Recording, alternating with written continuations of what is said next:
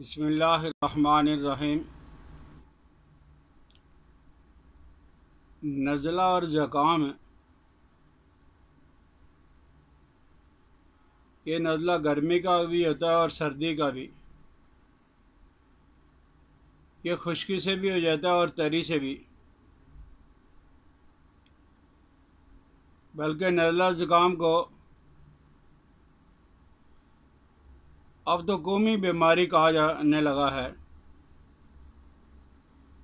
نزلہ زکام کھانسی قومی نشہ ہمارا۔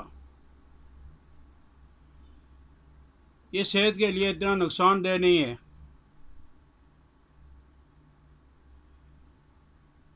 یوں سمجھیے کہ جسم کو صحت مند رکھنے کے لیے کبھی کبھی نزلہ زکام ہو جاتا ہے۔ اور اس کی ایک وجہ تو یہ ہے کہ دماغ کی کمزوری سے نزلہ ہوتا ہے۔ دماغ اگر کبھی ہوگا تو نزلہ کبھی بھی نہیں ہوگا۔ اور پھر جب انسان کے اندر طاقت زیادہ ہوتی ہے تو یہ نزلہ زکام بھاگ جاتا ہے۔ اور جب انسان کے اندر کمزوری واقع ہو جاتی ہے تو نزلہ زکام جو ہے وہ حملہ آور ہو جاتا ہے۔ تو قوت مزامیات قوت مدافعت بدن، قوت مدبرہ بدن۔ یہ اگر انسان کی طاقتور ہوگی ایکٹیو ہوگی تو نزلہ زکام سے یہ بچا رہے گا۔ اور پھر یہ سیفٹی والو کی شکل میں کام کرتے ہیں۔ ریشہ وغیرہ نکل گئے۔ جس کو تندرست اور تونا رکھتے ہیں۔ لیکن جو لوگ ہیں، ذرا سا نزلہ اور زکام ہونے کی وجہ سے ایلوپیتھک ادویات کا استعمال کر کے اس کا دوا لیتے ہیں۔ اور یہ نزلہ زکام کے سلسلے میں۔ یہ نقطۂ نظر انتہائی غلط ہے۔ جس سے بہت زیادہ نقصان ہوتا ہے۔ کہتے ہیں کہ نزلہ زکام کو فوری طور پہ کبھی نہیں روکنا چاہیے۔ اس کے نکلنے سے انسان کا جسم صحت مند ہوتا ہے۔ اور یہ صحت کو برقرار رکھنے کے لیے اللہ نے ایک ذریعہ بنایا ہے۔ تو ہمیں ذرا سا نزلہ ہوا فوراً ہی۔ ایلوپیتھک میڈیسن کو استعمال کر کے اور اس کو جسم کے اندر دبا کے رکھ دیا۔ پھر جب وہ بیماری کو باہر نکالنے کے لیے نزلہ زکام ہوا، پھر اس کو میڈیسن کا استعمال کر کے دبا لیا۔ تو اس سے آخر کار کوئی سنجیدہ بیماری، کوئی مزمن بیماری، کوئی تکلیف دینے والی بیماری اندر جنم لے گی۔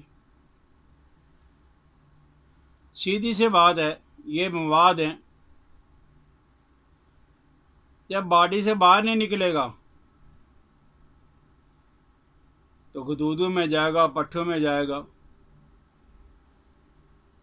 جوڑوں میں جائے گا، دیگر اعضاء کا سہارا ڈھونڈے گا، وہاں جگہ تلاش کرے گا، وہاں جا کے بسیرا ڈالے گا۔ تو اس کا نقصان ہوگا۔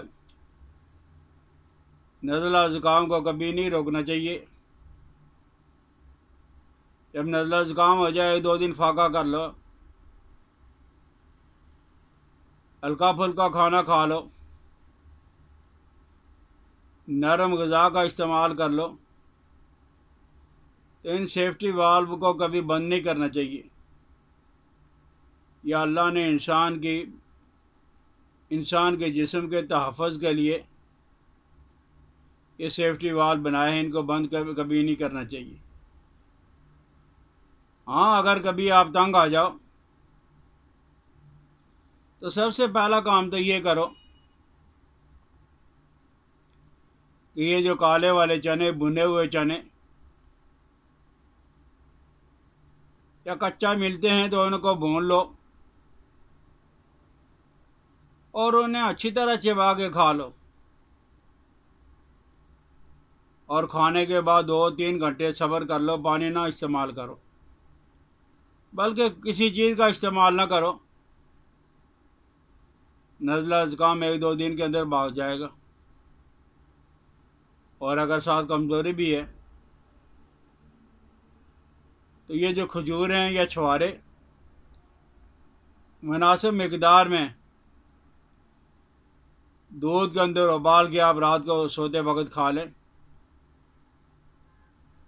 اسی طرح سنڈ ہے، سونٹ اور گڑ،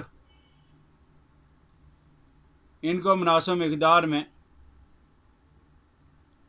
آپ کھا لیں، اس سے بھی نزلہ زکام کے اندر بہت زیادہ فرق پڑ جائے گا۔ یہ جو گندم کی بھوسی ہوتی ہے، گندم کی بھوسی، گوڑ اور نمک، ان کو آپ پانی کے اندر ابالیں۔ اور ابالنے کے بعد جب پانی آدھا رہ جائے یعنی دو گلاس ڈال، پانی کے اندر ڈال لیں، اسی مقدار میں گندم کی بھوسی، نمک اور گڑ ڈال کے اسے اچھی طرح ابالیں جب ایک گلاس رہ جائے۔ تو اسے چائے کی طرح پئیں اس سے بھی نزلہ زکام ایک دو دن کے اندر اس کی چھٹی ہو جائے گی۔ دودھ ہے۔ اسے آپ گرم کر لیں۔ کالی مرچ اور مشری دودھ، کالی مرچ اور مشری آپ دودھ کو ابال کے اس پہ کالے، مرچ اور مشری ڈال کے۔ اب یہ رات کو سوتے وقت استعمال کر لیں، نزلہ زکام ختم ہو جائے گا۔ اسی طرح پان ہے، ملٹھی ہے۔ پان کا پتا لے لیں، ملٹھی لے لیں۔ اور مصری ملا کے۔ آج اب انہیں ابال لیں ابالنے کے بعد آپ پی لیں۔ فوراً سکون ہو جائے گا۔ اور اگر ریشہ کہیں جم گیا ہے سیر بھاری ہو گیا، ریشہ نکل نہیں رہا ہے، تو یہ کالی مرچ اور سرس سرس کے بیج، مغز تو ہم جا یہ پنساری سے مل جاتے ہیں۔ آپ ان دونوں کو باریک نسوار بنا لیں۔ آپ انہیں سوں گے۔ ان شاء اللہ بہت جلدی فرق پڑ جائے گا۔ یہ جو ہمارے ہاں نیازبہ ہوتی ہے تلسی۔ یہ تلسی، ادرک، کالی مرچ اور مصری۔ تلسی، ادرک، کالی مرچ اور تلسی، یہ مصری۔ آپ انہیں باریک پاؤڈر بنا کے تو ایک ایک چمچ چائے والا صبح دوپہر شام لے لیں۔ اس سے بھی بہت جلدی جب وہ نزلہ زکام کے اندر فرق پڑ جائے گا۔ اور سب سے بہتر گندم کی بھوسی ہے، کالی مرچ ہے۔ گندم کی بھوسی، یہ دس ماشے لے لیں۔ کالی مرچ آٹھ دس دانے اور نمک ایک سے ڈیڑھ ماشا۔ آپ اسے ڈیڑھ پاؤ پاؤ پانی کے اندر ابالیں۔ دن میں دو تین دفعہ استعمال کریں۔ جسم بھی ہلکا پھلکا ہو جائے گا اور نزلہ زکام سے آپ کی جان چھوٹ جائے گی۔ امرود کے پتے ہیں اور سپستان۔ یہ لسوڑا سپستان جو ہوتا ہے، اس کے پتے ابالیں مناسب مقدار میں۔ یہ کم زیادہ ہو جائیں اس سے کوئی فرق نہیں پڑتا۔ نزلہ زکام میں استعمال کریں، بہت جلدی فرق پڑ جائے گا۔ گول بنفشہ تو پاکستان میں ہر جگہ میسر آ جاتا ہے۔ آپ اسے ابالیں۔ ابالنے کے بعد استعمال کریں۔ اور بی دانہ یہ پانچ گرام اور ناب جو ہے وہ چھ سات دانے اور سبستان یہ دس دانے بی دانہ اور ناب اور سبستان آپ ان کو پانی کے اندر بگو کے آگ پہ پکا کے استعمال کر لیں۔ اور یہ جو نسخہ ہے بی دانہ و ناب اور سبستان والا، یہ جو گرمی کا نزلہ زکام ہوتا ہے اس کے لیے بھی بہتر ہے اور خوش کھانسی کے لیے بھی بہتر ہے۔ کوشش یہی کرے کہ نزلہ زکام کو جلدی بند نہ کریں۔ ہو جائے تو ایسی ادویات کا استعمال بالکل نہ کریں جسے فوراً یہ جام ہو جائے، یہ بعد میں تکلیف بچائے گا۔ سمجھ آ جائے۔ تو اسے شیئر بھی کرنا، میری حوصلہ افزائی کے لیے سبسکرائب بھی کریں۔ حکیم الیاس عبدالی کو اجازت دینا السلام علیکم ورحمۃ اللہ وبرکاتہ۔